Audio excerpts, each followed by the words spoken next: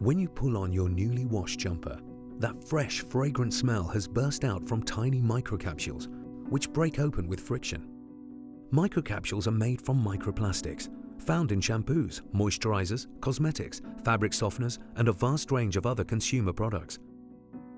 We can't see these hidden microplastics, so we can't choose to recycle them. They make their way into our soil, rivers, and oceans, are ingested by land and marine life before ending up in our food chain.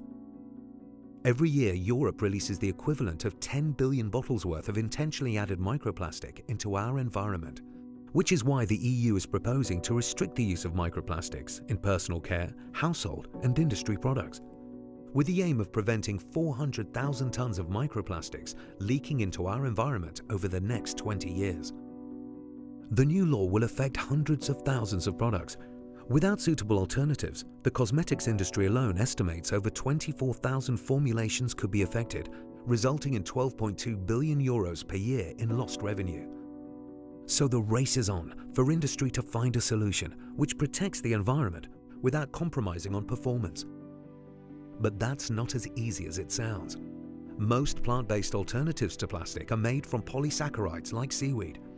The trouble is, Products made from polysaccharides typically require chemical cross-linking, which means they are not 100% biodegradable.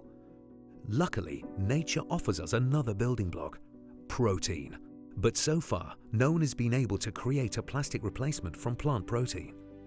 Until now. Here at Xampla, using plant protein, we've created the next generation of biomaterials to replace single-use plastic. Unlike materials made from polysaccharides, our materials made from plant protein don't rely on chemical cross-linking for their strength. This means our unique material is stable enough to create the world's first 100% natural, biodegradable, high-performance microcapsule. So that the next time you pull on your jumper, its microcapsules will be returned to the ecosystem to be safely digested by microorganisms, keeping our environment safe. And this is just the start. Our ultimate goal is to replace microplastics and single-use plastic packaging of all kinds with an alternative that's safe for everyone to eat. Because at Xampla, we believe nature guides us to the best solutions.